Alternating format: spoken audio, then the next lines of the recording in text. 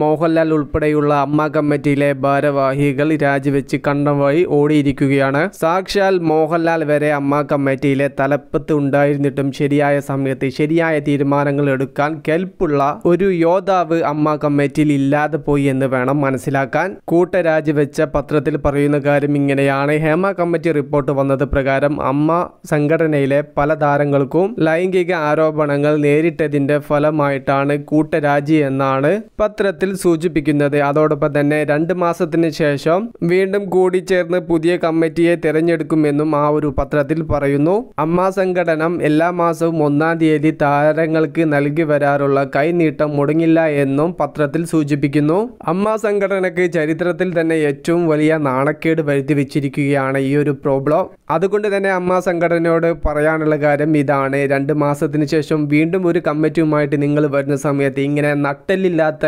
കമ്മിറ്റിയുമായിട്ട് വരരുത്. ശരിയായ സമയത്ത് ശരിയായ തീരുമാനങ്ങൾ എടുക്കാൻ കെൽപ്പുള്ള മികച്ച ടീമുമായിട്ട് വരണം. അല്ലെങ്കിൽ ഇങ്ങനെ ഇതുപോലെ വീണ്ടും പെട്ടുപോവും.